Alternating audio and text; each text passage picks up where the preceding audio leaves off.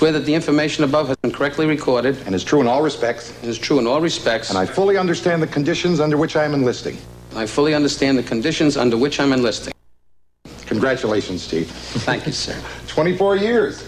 You've spent over half your life in the Navy. Yes, sir. The Navy is my life. That's probably why I never got married. You might say I'm married to the Navy. And you have no regrets. No, sir. In 24 years in the Navy, I've only been involved in two wars. With a wife, I might not have been so lucky. Sit down, Chief. Thank you, sir. You know, it's interesting the things that'll turn a man to a Navy career. With me, it happened when I was in high school, and I got fascinated with the history of the Navy. How about you?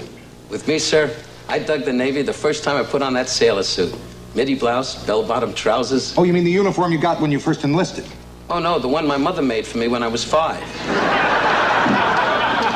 And you knew even then that you were destined to go Navy. Yes, sir. Although the Navy today is not like the Navy when I first went in. Well, it's changed a little. Little. When I first went in, we slept on racks made out of canvas and pipe. Today they have mattresses, berths, with built-in lockers, and reading lights. It's like a regular Caribbean cruise. the only thing missing is shuffleboard, rumba lessons, and Tony Mark. I, think you're exaggerating, Chief. Oh, no, sir. On the aircraft carrier America, they spent over $53,000 on bunk curtains alone. Bunk curtains. What's wrong with that? Well, why stop there, sir? Why not get each sailor a Princess Pat phone and a Snoopy doll? I see nothing wrong in making living quarters more comfortable. Well, you can bet me, sir, in the near future, every sailor on a ship is going to have his own private head. Now, Chief. Think of it, sir. 5,000 toilets flushing all at the same time. It'll sound like a submarine attack. Chief, remember what the Blue Jackets manual says. The roots of the Navy lie in a strong belief in the future. Now, there'll be time enough to look back when you retire. Yes, sir. Congratulations again, and good luck. Thank you, sir. Company 144, Robinson. No, Chief Sharkey's still up at the CO's office. Right, I'll tell him. Hey, man. Robinson, don't sit on my desk. You just had a call. Your new men, they're still up at sickbay getting their shots. Robinson, did you hear what I said? Don't sit on my desk. You want to sit on a desk? Go up to your own company and sit on your desk. Okay, okay. Well, I sometimes eat on this desk.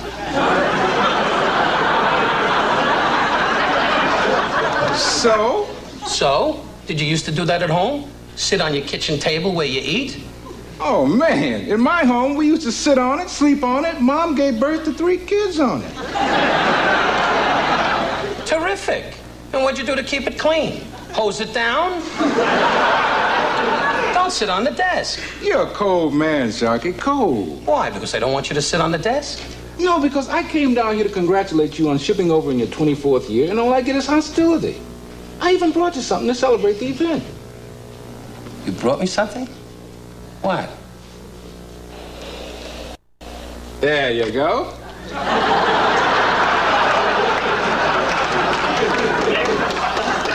A hockey puck with a candle in it. You shouldn't have done it, you crazy guy, yeah? Well, I knew you were a guy that didn't like a big deal, so I kept it simple. yeah, simple. Simple, that's, that's what the CO and I were just talking about. And everything was nice and simple. The good old days, huh? Your favorite subject. Right. The good old days of segregation. I didn't say that. Well, that's what you had back then, segregation. That's what you want to go back to? Separate all the blacks into one unit? Of course not. But let's face it, man. You people do make the best drum and bugle corps.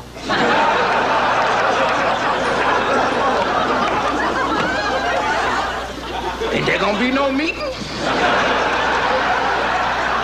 Come on, you know what I mean. The good old days. Before they had the fancy curtains and the reading light. Yeah, but they're not listening to you. Listen, did you read this? Let's see.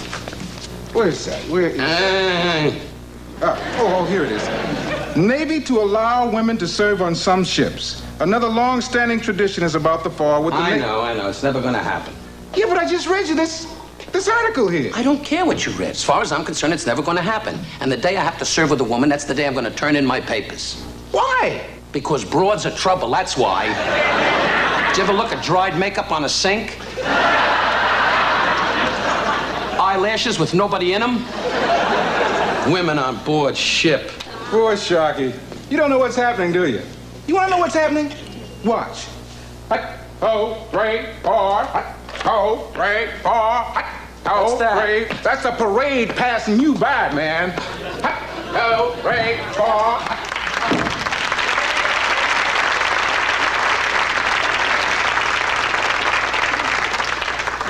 That's the parade passing you by, man. Zippity doo dah, zippity doo dah. Hey, Shark. Yeah? Congratulations. Oh, thanks. And thanks for the cake. Excuse me, Chief. Yeah, what is it, Pruitt? Well, first platoon's ready for you, sir. The rest of the company's still up getting their uniform issue. Okay. Then we'll take the first platoon.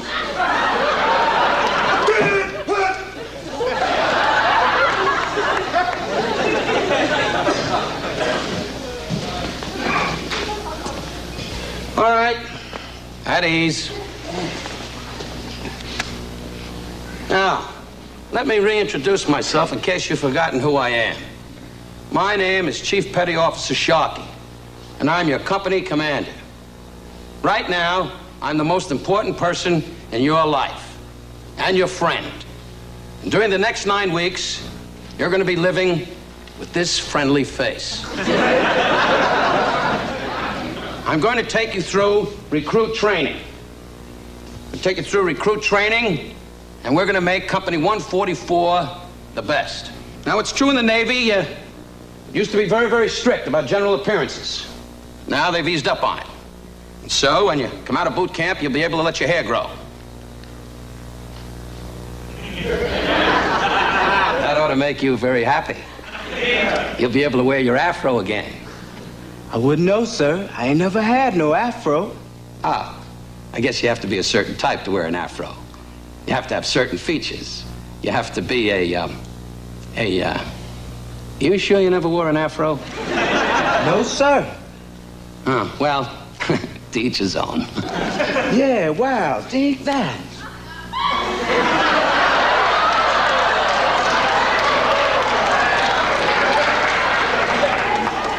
What was that? Oh, uh, that's the way we do it on the street. I slap you five and that says you're my man. My main man. We're not forming a band. and you're not on the street. We're in the Navy. In the Navy, we don't slap. We salute. You understand? Yes, sir. I don't slap my man, I salute my man. And I'm not your man, I'm your CPO. Yes, sir, my CPO. My main CPO. I'm gonna keep an eye on you.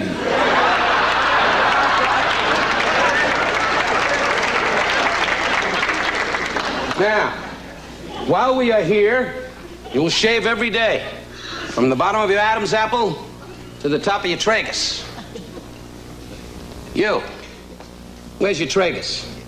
I don't know, sir. Am I supposed to have one? Of course you're supposed to have one. Every man here has a tragus. In fact, every man here has two traguses. Oh, those. Wrong!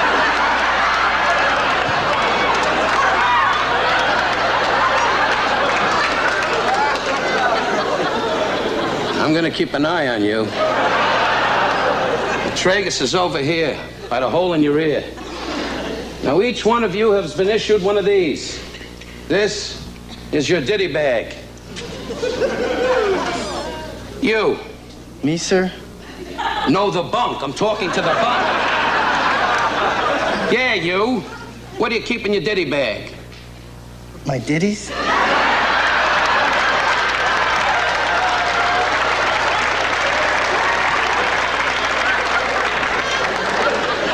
Ditties?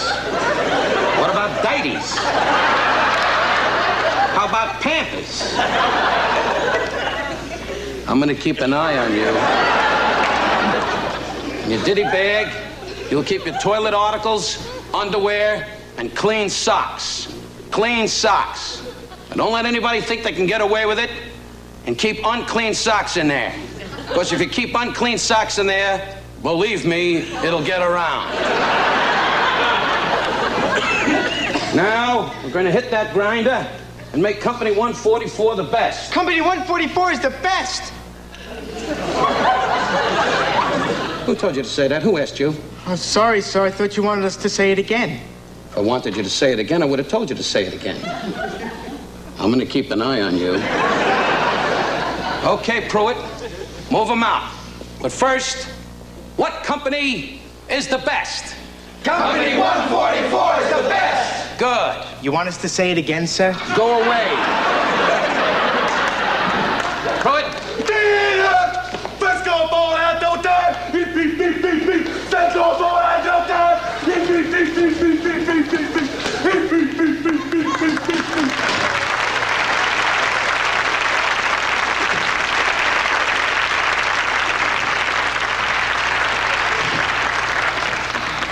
Chief Sharkey?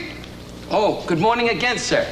Anything I can do for you? Oh, I thought it might be a good idea to bring my replacement around to the various companies so you could meet your new commanding officer. Oh, you're leaving us, sir? Oh, yes, my tour of duty at RTC is over. Oh. Well, I guess every tour of duty has to end somewhere. Congratulations. Oh, no, no, not him. Captain?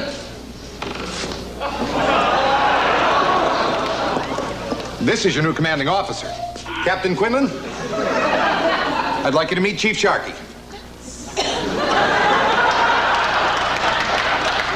How do you do, Chief? I'm sure we're going to enjoy working together. Oh, I'm sure you are. Chief Sharkey is one of our best. Good. Well, that's all for now. Carry on, Chief. Captain?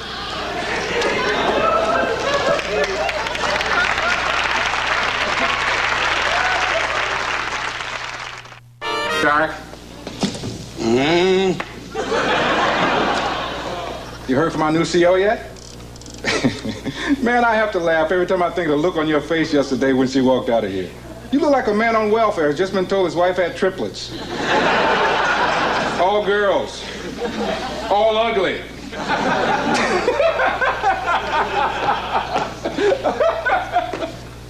Yeah. That must have been pretty funny. Especially after I said the day I serve with a woman, that's the day I turn in my papers. Right. Right. So that's what I'm doing. Hmm? Here, read this. Desiring to discontinue my naval service, I respectfully request that I be transferred to the Fleet Reserve as soon as possible. You know what you look like, Robinson? A man on welfare who's just been told he has three ex-wives to support. All ugly. Hey, man, you gotta be kidding about this. I mean, you're gonna throw away 24 years, give up a career just because your new CO is a woman? You got it. Hey, man, what is the matter with you? There are women in the service all over the world. Well, I just read the other day that in China, they got a woman who's captain of a ship. In China, they can get away with it. They all wear pajamas and they all look alike. You really gonna send this in to the CO, huh? No, I'm going to send it to Dear Abby and sign it puzzled in San Diego.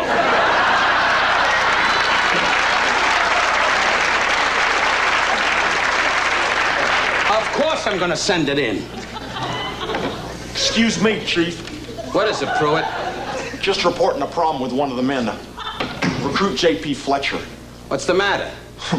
Threw up on the parade ground. Threw up. Yes, sir. And he's been crying. What's he crying about? Gets to eat again at 5.30. Personally, I don't think it's just an upset stomach. I think it's one of them homesick cases.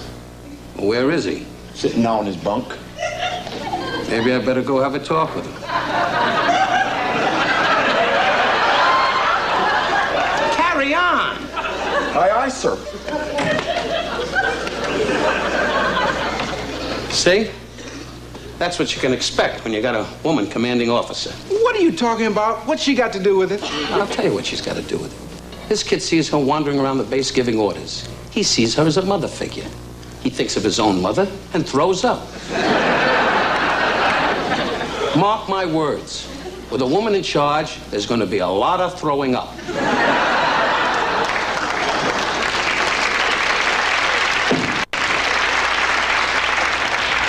Fletcher, what's with you? Sit down, I'm talking. Yes, sir. What's the matter? What happened? Something wrong with the breakfast? What'd you have? Scrambled eggs, pork sausage, and hash brown potatoes. No wonder you're sick. None of us eat that. All right. All right. What is it? Are we working you too hard? Who knows, sir? It isn't that. It's, Then what? well, it's. It's not the way I thought it was going to be. How old are you, kid? 17, sir. 17. That's how old I was when I first got in. Oh, boy, those first days were really tough. Really tough. For you too, sir? I wanted to get out in the worst way. I wanted to go home and see my family, my dog. You got a dog? Oh, yes, sir. I might have been able to get out, but I thought I'd stick it out one more day, then another day, a day after that. Pretty soon I forgot why I wanted to get out. That was 24 years ago. 24 years? That's right. Look, kid, if you hang in there, believe me, it'll be a lot easier. Do you want to know how hard it was for me the first days? You promise you won't tell anybody. Oh, I promise, sir. The first week, I sobbed myself to sleep every night. The second week, I only cried. then a month of sniffles, and I was fine. Wow. Do you feel better now? Oh, yes, sir. Good. Uh, sir, Yeah? should I go back to my company now? Been excused. You don't have to. I think I'd like to. Then go to it. Aye, aye, sir. Hey, babe. Hello, Robinson. So long, Robinson. I hate long goodbyes. Where you going? Did you hear anything? CO's office called me. She wants to see me. She must have got my papers. Well, she's probably going to ask you to reconsider. I've said no to women before. You, uh, you learn how to do that when you've got a body like mine.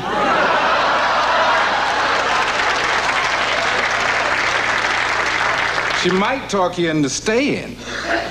Are you kidding? A woman talk me into anything? Look at this face. Do you know why I'm not married? Because of that face? No, dummy. Because this look turns them off. This is the face she's going to see. Chief Petty Officer Sharkey reporting as ordered. At ease. Chief, I wanted to see you personally because of a communication that was delivered to me this morning. Yes, ma'am. Now, I know we may only be talking about one individual, but as our Blue Jackets manual tells us, in the modern Navy, the emphasis is on the individual. And part of my program is to see that we don't lose a single individual at this center. Yes, ma'am, if it can be done. Sometimes a man's mind can't be changed. Well, let's see if a man's mind can't be changed. You can imagine my reaction my first week here getting a communication like this. Officer, we are writing to tell you about a phone call we received from our son who is newly enlisted in the Navy. He told us that he was afraid he had made a mistake and wanted out. And then he had a talk with his company commander, a gentleman named Sharkey. He said this man was so understanding and sympathetic that he suddenly didn't feel so alone and confused. We wanted you to know how much we appreciate this special attention given to our son so that he can give his new life the chance it deserves. Sincerely, Mr. and Mrs. Joseph Fletcher. That's why I wanted to see you, Chief. I was told you were one of the best men here at the center, and I can see why. That's it? That's it. Except to tell you that you'll be receiving my personal letter of commendation to be made part of your permanent record. I'm proud to have a man like you in my command.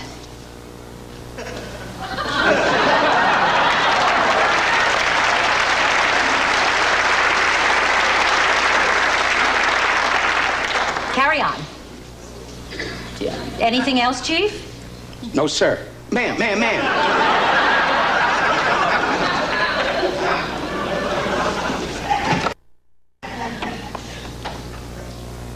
Bradshaw, that request for separation by Chief Sharkey, have it ready for him. I think he's reconsidered. Aye, aye, man.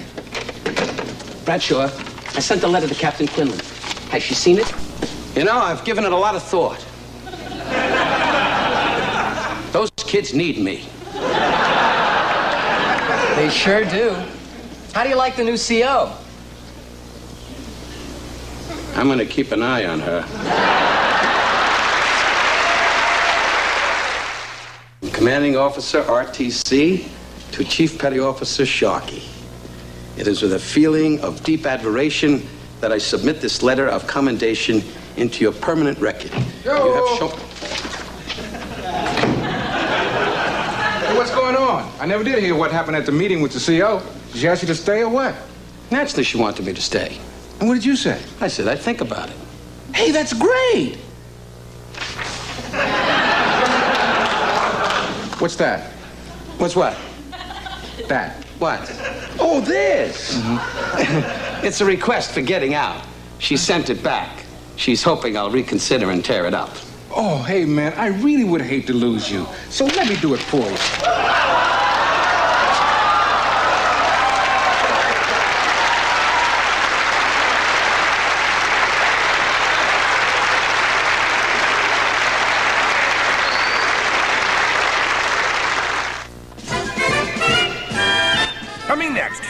Comedy Central is McHale's Nick.